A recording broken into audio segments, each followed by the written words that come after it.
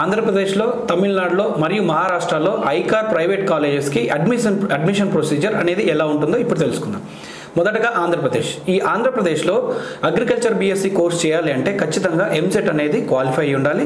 Merit ద్వారా eighty five percent వాళ్ళ local వాళ్ళకి ఇస్తారు ఫిఫ్టీన్ పర్సెంట్ నాన్ లోకల్. ఈ నాన్ లోకల్ కూడా ఓన్లీ తెలంగాణ నుంచి ఆంధ్రప్రదేశ్ ఎంసెట్ రాసిన వాళ్ళకు మాత్రమే ఎలిజిబిలిటీ ఉంటుంది. Remaining eighty five percent only for local candidates. అంటే ఆంధ్రప్రదేశ్ స్టూడెంట్స్కి మాత్రమే ఎనభై శాతం వరకు అగ్రికల్చర్ బీఎస్సీలో అవకాశం ఉంటుంది.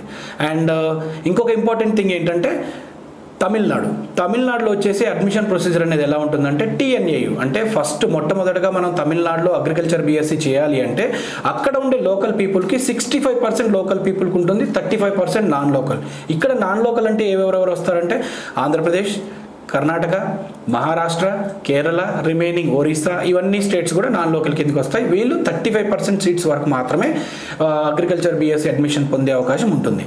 ఈ తమిళనాడులో వచ్చేసి టీఎన్ఏయు తమిళనాడు అగ్రికల్చర్ యూనివర్సిటీకి ఖచ్చితంగా అప్లికేషన్ పెట్టుకుంటే ఆ అప్లికేషన్ ద్వారా ఎవరికైతే ఆ అప్లికేషన్ ఫామ్ వస్తుందో వాళ్ళకు మాత్రమే ఈ తమిళనాడులో అగ్రికల్చర్ బీఎస్సీ చేసే అవైలబిలిటీ ఉంటుంది.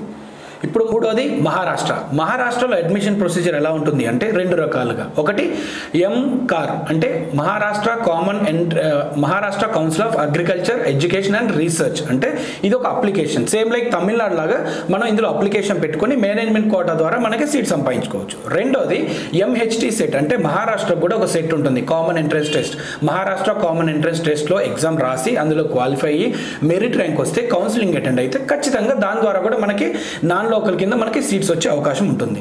ఇది మనకి మహారాష్ట్ర అడ్మిషన్ ప్రాసెస్